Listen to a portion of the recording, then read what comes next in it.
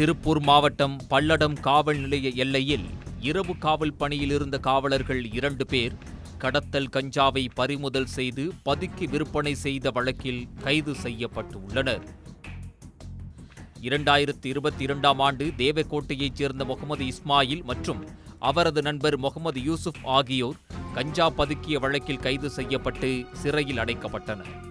அவர்களுக்கு கஞ்சா சப்ளை செய்த ராமநாதபுரம் எஸ்பி பட்டினத்தைச் சேர்ந்த பிரவீன் மற்றும் ராஜேந்திரன் ஆகியோரும் கைது செய்யப்பட்டனர். அவர்கள் போலீசில் அளித்த வாக்குமூலத்தில் திருப்பூர் மாவட்டம் பல்லடம் காவல் நிலையத்தைச் சேர்ந்த முதல்நிலை காவலர் சரவணன் காவலர் அருண்பாண்டி ஆகியோர் கஞ்சா சப்ளை செய்ததாக கூறியுள்ளனர். கடந்த ஆண்டு நவம்பர் மாதம் பல்லடம் காவல் நிலைய எல்லையில் சின்னக்கரை சோதனைச் சாவடியில் இரவு பணியில் இருந்தபோது அந்த வழியாக வந்த ஆட்டோவை நிறுத்தி காவலர்கள் சரவணன் மற்றும் அருண்பாண்டி ஆகியோர் சோதனை செய்து பார்த்ததில் சுமார் மூன்று கிலோ கஞ்சா பதுக்கி வைத்திருந்ததை கண்டுபிடித்தனர். கஞ்சாவை கடத்தி கொண்டு வந்தவர்களை விரட்டியடித்துவிட்டு கைப்பற்றிய கஞ்சாவை சட்டவிரோதமாக பதுக்கி வைத்து தேவக்கோட்டையைச் சேர்ந்த இளைஞர்களுக்கும் எஸ்பி பட்டினத்தைச் சேர்ந்த பிரவீன் என்பவருக்கும் ரூபாய் ஐம்பதாயிரத்துக்கு மூன்று கிலோ கஞ்சாவை விற்பனை செய்தது தெரிய வந்துள்ளது.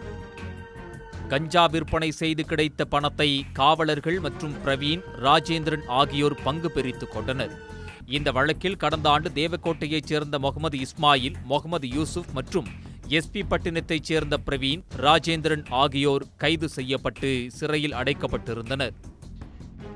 தலைமறைவாக இருந்த பல்லடம் காவல் நிலைய காவலர் சரவணன் என்பவரை கைது செய்து விசாரித்தபோது அதில் காவலர் அருண்பாண்டியன் என்பவரும் சம்பந்தப்பட்டிருப்பது தெரிய வந்ததால் மேற்படி காவலர் அருண்பாண்டியன் என்பவரையும் தேவக்கோட்டை போலீசார் கைது செய்து நீதிமன்றத்தில் ஆஜர்படுத்தி சிறையில் அடைத்துள்ளனர். கஞ்சா வியாபாரிகளுடன் தொடர்பை ஏற்படுத்தி கொண்டு பறிமுதல் செய்யும் கஞ்சாவை போலீசாரே பதுக்கி விற்பனை செய்த வழக்கில் கைது செய்யப்பட்டிருப்பது பல்லடம் சுற்றுவட்டாரத்தில் பரபரப்பை ஏற்படுத்தியுள்ளது. உடனுக்குடன் செய்திகளை தெரிந்து கொள்ள சன் நியூஸ் பெல் ஐகானை கிளிக் பண்ணுங்க.